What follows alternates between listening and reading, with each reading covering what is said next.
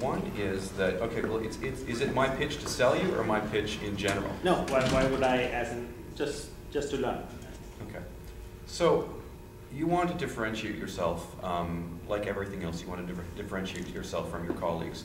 Uh, there's a variety of motivations. One is personal motivation. I think Tammy said it. Uh, she says that the pursuit of learning is important to her, and she would like some sort of litmus test or measure to tell her where she is in that learning. So number one, it's individual.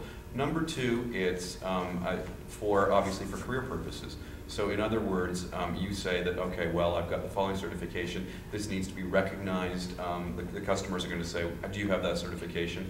And um, they're going to say, okay, well, there's a value to that certification. I want to hire you because, um, well, you've had, you know, you may have had some experience, but in addition to that experience, you've got the certifications. From a more corporate side, there's a few things. Number one is how is a customer today supposed to tell, especially at, the starting point with new grads, um, who is ready to come onto their project if you have no experience? What else do you have?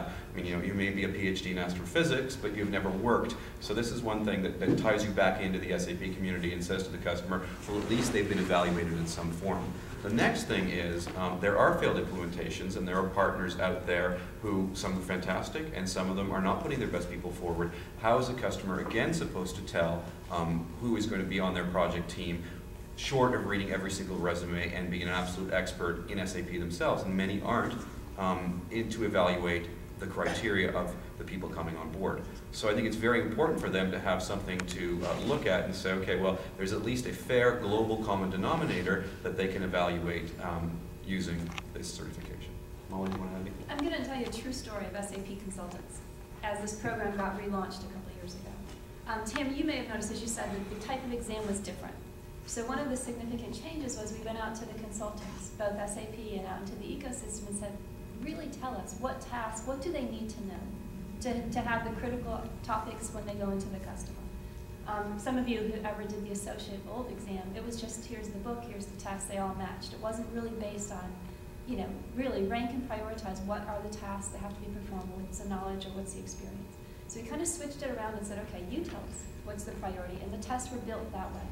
So the list of topics and the types of questions were really built with an attempt to validate required knowledge.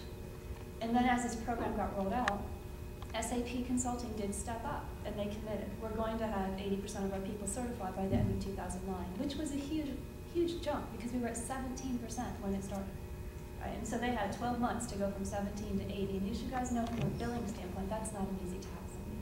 So what we did is we gave them self-study materials and they got organized. So they took their leaders, they took the platinum, the platinum consultants, and they started getting organized and started creating um, reviews around preparing different topics in preparation to be able to take the exam.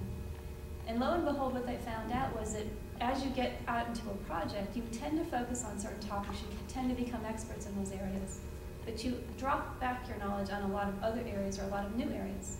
And what they found was as they went through these review sessions, everybody came back up to a common baseline of knowledge.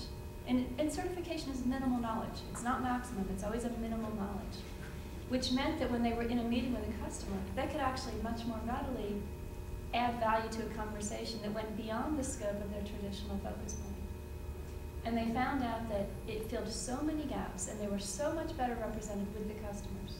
And they were they actually saw a reduction in things like modifications, letting third-party software slip in the door because they didn't know SAP could solve that problem.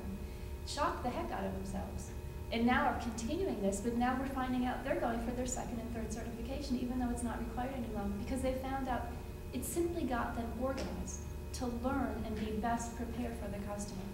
And now they're going for 95% certification, kind of all self-inflicted.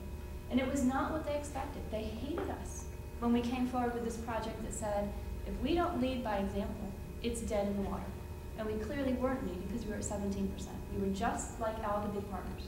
And they were, they were shocked to find out how it helped them. They decided what was important. They decided what certifications they needed to focus on for their own value to the company. And they just kept moving forward. And it's a, it was an unusual and unexpected success story um, that, that really has got them moving forward again.